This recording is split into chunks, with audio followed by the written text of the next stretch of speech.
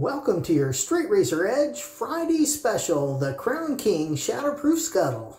Hey, Eric here with Adventures in Wet Shaving, and welcome back. It's good to see you.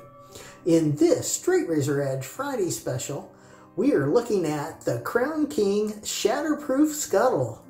Yep, it is a good one. So let's get started. I have had that down here soaking in hot water and it is also full of hot water as well. Here you go. So this comes with a nice stopper. This is plastic. It's got some nice ridges in there as well. So let's just put that back down in there for a moment. It also comes with this wonderful blanket.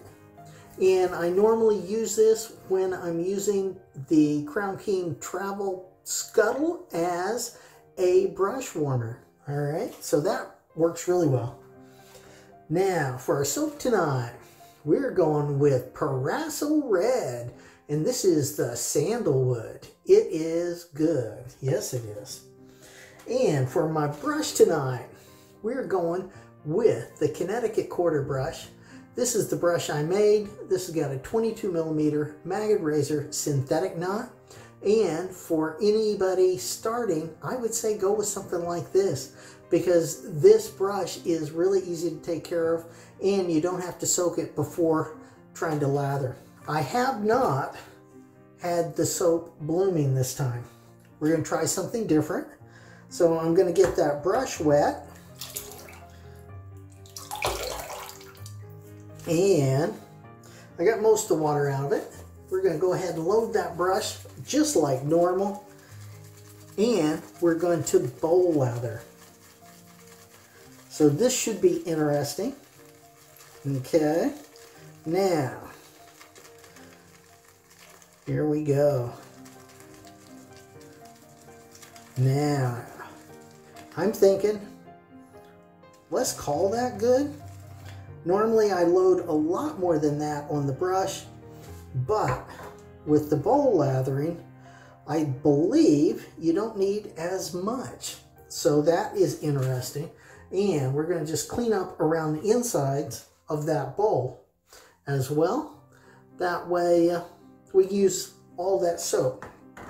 All right. So we'll go ahead and put that right in the brush. And there you go. Look at that. Isn't that nice? Now, let's go ahead and get the water out of that travel scuttle. It still has hot water in it. And let's start making a lather. Mm -hmm. All right. Now, we'll just go ahead and get her going. This has a lot of ridges and uh, I think that helps with the lather.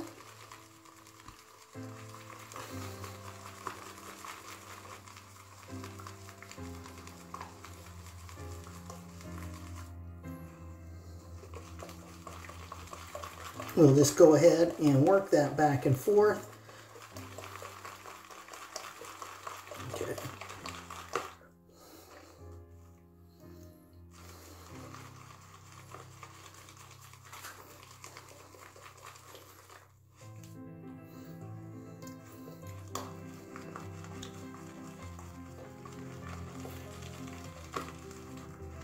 Now, as I'm doing this, what I'm looking for is a nice sheen on that soap and no real bubbles that you can see because I don't need that. I need a good lather, yeah?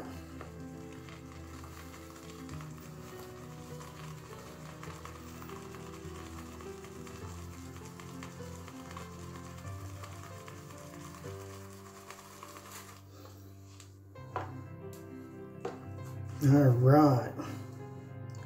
Now we're getting there.